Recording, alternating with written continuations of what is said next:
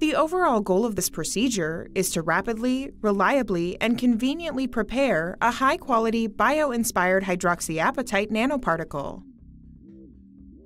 This method is used to prepare nanoscale hydroxyapatite, a material of great scientific and commercial interest to researchers developing innovative medical devices and related healthcare technologies, particularly for clinical applications.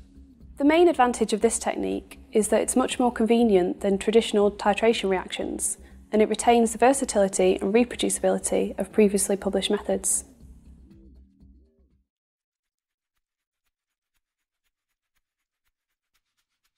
To begin the procedure, add 3.705 grams of calcium hydroxide to 500 milliliters of deionized water.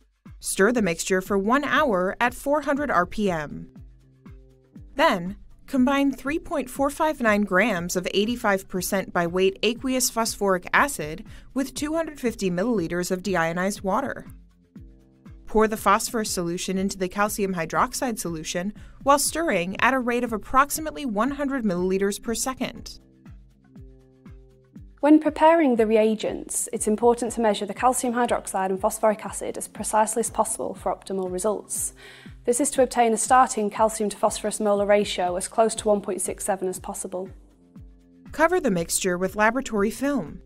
Stir the mixture for one hour at 400 RPM and then allow the NHA mixture to settle overnight to obtain approximately 5 grams of nanoscale hydroxyapatite.